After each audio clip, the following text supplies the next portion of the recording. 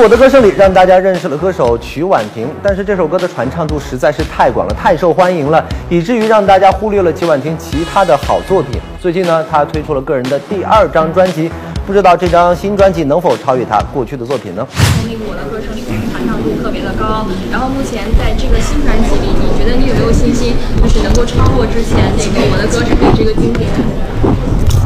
嗯。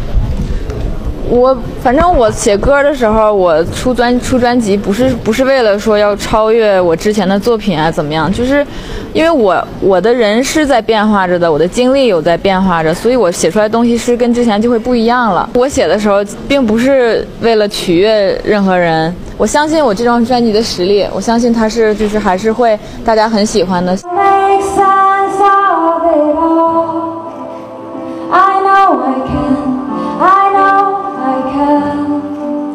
咱们在这儿先不说超越不超越的问题，曲婉婷的这张新专辑才发行三天，其中的一首歌曲《我的小伙伴》就被动画电影《我是狼》的导演相中拿来做了主题曲。既然说到动画片，这曲婉婷有没有兴趣为这动画片配个音呢？觉得我可能要配英文的更合适一些。我我讲中文，